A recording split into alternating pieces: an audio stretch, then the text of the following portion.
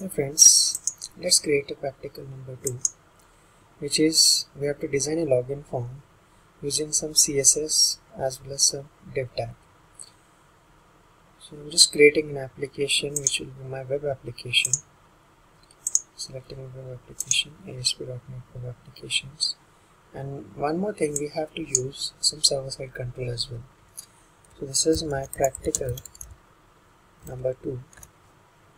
This will be my web application. So I'm selecting an empty application.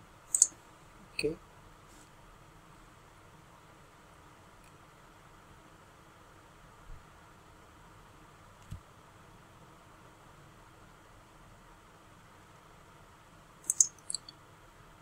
so you'll find here there is no default page is available so you can create a new ASPX page so this is a right click add new item.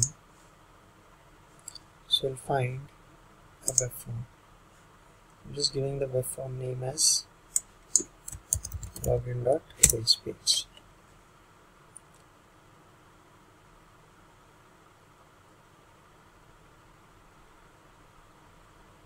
so this is my default structure. Let's give the title login to MIT now here let's divide the entire page into different sections. First will be my header there will be left side one center then one right side and one footer.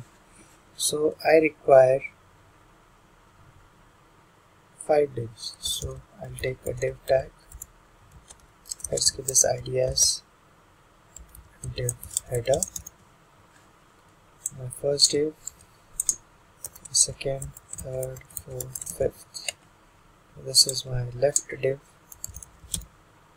This is my center div. This is my right div. And this is my let's say footer. So my form tag will be here in center div and here you can take your controls such as text box controls. So you can identify your controls from the standard controls which is available in the toolbox. So let's take a text box control which will be here. Click on it find this text box. Change its name to txt username provide placeholder equals to enter username. Similarly just take the second text box. With now we can have br this will be enter password. But here one more thing is required text mode because we need to have some special character words for it. should be password. This will be my txt password. So here we are simply designing a form a login page and we need to have one button also. So i'm taking a button control. This will again be a standard button control. So we'll find what is the difference between a normal controls and the standard controls. So here we have an ASP ASP colon with the text control as well as run at equals to server. So these are my server controls. The button change the text value for it just give this is login and change its id to btn login. Format it properly right click format selection. Now for each of this head divs you can have something let's say you can have some header welcome to MIT now you can provide different styles for each of these divs so what we want what is expected? First one should be a full header. Second one should be a left side. Then we have a center big center and right right um, div and right and the footer section. So let's uh, give add the css for the same file. So add style sheet. So I'm giving the style sheet name let's say my CSS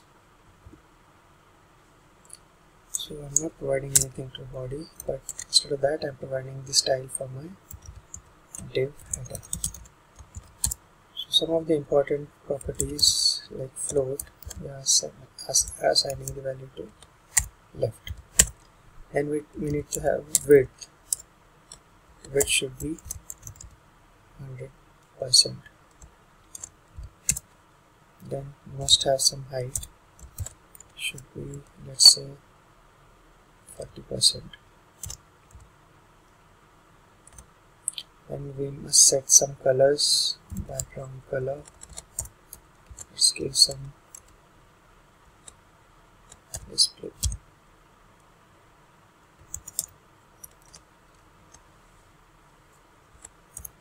Similarly, for the left div, you can have some styles.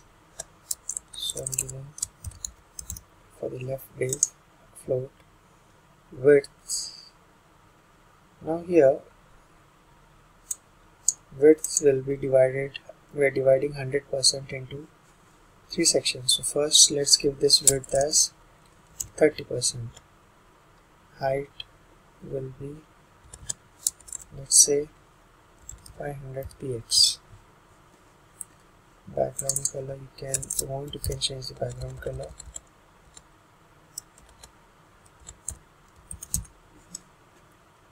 now for the right div we'll have uh, sorry for the left center div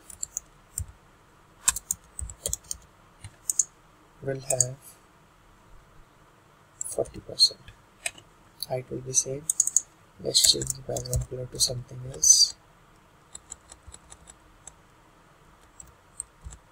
Okay.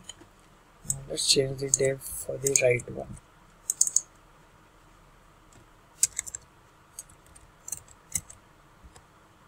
so this is right div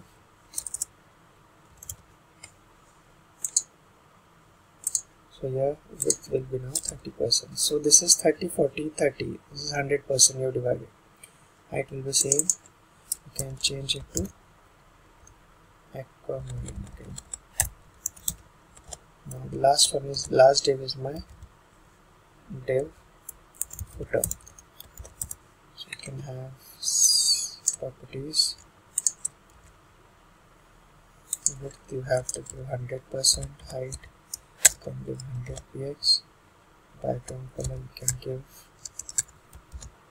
let's say black.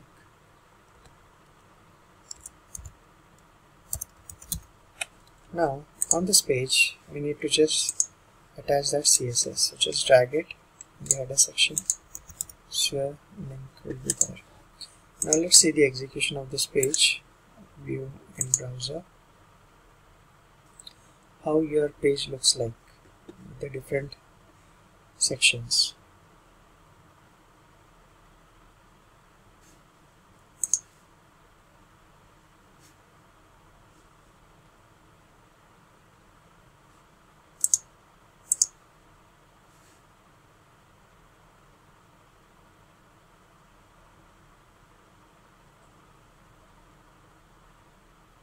so your page looks like this. So we need to just change the percentages. So this height will be let's give this height to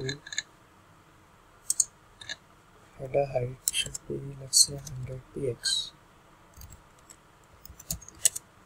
so we find this is there. So this is a design page. We can have some more changes. For example this should be somewhere in the center. So you can set the properties here. For example padding.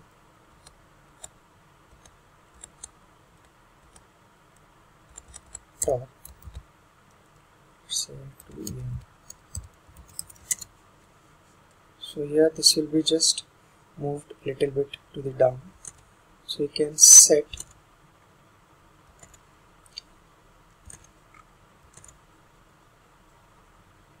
height of this center to be 450 so based on your now here this again requires left padding.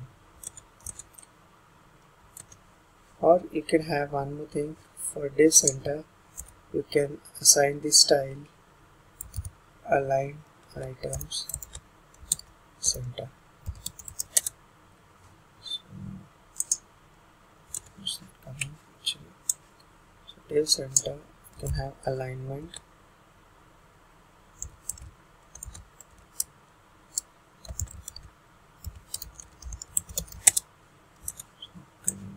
Div center.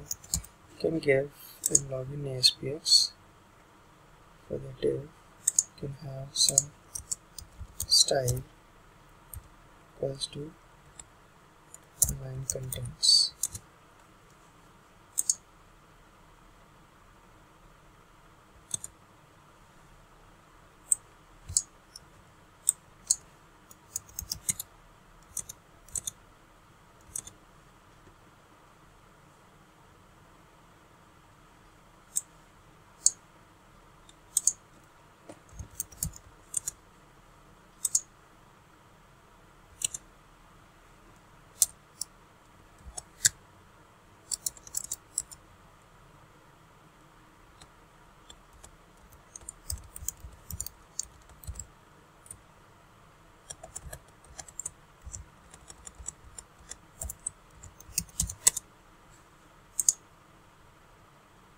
so this is the center alignment now this header if you want it in the center so again you need to provide a center tag over here.